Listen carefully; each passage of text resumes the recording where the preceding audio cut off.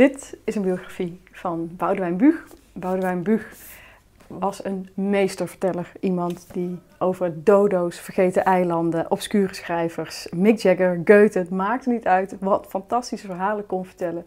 Maar ook iemand die door zijn eigen verhalen eigenlijk ten onder ging. Iemand die het leven veel groter maakte dan dat het was. Daar ongelooflijk veel mee wist te bereiken, veel vrienden kreeg, toegang tot de literaire wereld en tegelijkertijd van zichzelf een personage maakte. En dat personage kwam tussen hem en de rest van de wereld te staan.